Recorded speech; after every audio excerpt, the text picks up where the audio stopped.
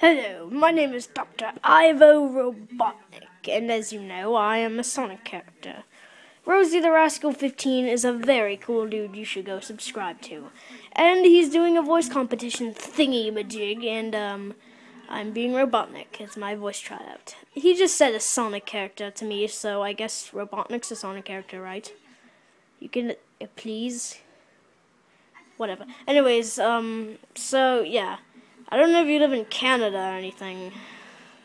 It's kind of a bum if you do, because, you know, I don't, I, I can't really go that far away. But, um, yeah, so, let me know what you think of my voice acting, please. Oh yeah, I have one last thing to say. And it's my most important thing. So listen here and listen good. good.